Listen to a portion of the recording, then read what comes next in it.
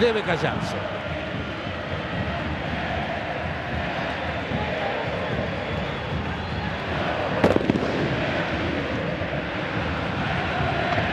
Chapoteaba. ¿eh? Sí, es verdad, pero fíjate también sobre la derecha del ataque de Independiente. Ahí también ya está bastante marcado. Señores, se viene Ambrogio, tiene el primero, va, tiene el primero, va Ambrogio. Ya, así de esta manera, Independiente 1, Ignacio 0. Muy corrida la defensa de Gimnasia. La pelota fue de derecha a izquierda.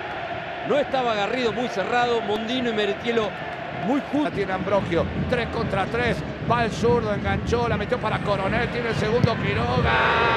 Era para Quiroga. Claro. Era para Quiroga, se lo pierde Coronel. Señores, Lo que son los demás experiencia, que los laterales tomen la marca. se viene Vidal, está el segundo Vidal. Señores, yo vine. Este es Coronel, va Coronel, centro de... Atención, viene Maidana. A ver, centro que va pasado, Quiroga llegaba Vale. Maidana que quiere. Señores, afuera. El todos en el área para buscar. Viene Maidana también, a ver, llegará al centro. Va Quiroga que empujaba a Quiroga.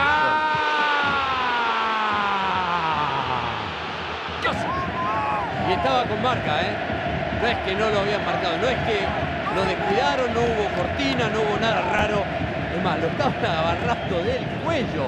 Le habían cruzado el brazo izquierdo por arriba del cuello. Así todo Quiroga se sube en la tribuna, ¿eh? Ni hablar, mirá, mirá. Fino quieto, mira su cronómetro comesaña, señoras y señores. Independiente ha ganado el clásico mendocino Independiente Rivadavia. Sigue la Copa Argentina.